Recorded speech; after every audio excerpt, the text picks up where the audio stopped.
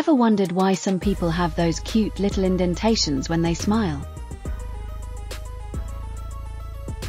Dimples, especially cheek dimples, are caused by a variation in a facial muscle called the zygomaticus major. In most people, this muscle runs straight from the cheekbone to the corner of the mouth. But in dimpled faces, it splits into two, creating a tiny indentation when you smile. It's a harmless genetic trait. You often inherit it from your parents. Chin dimples, or cleft chins, are different. They form due to incomplete fusion of the jawbone during development.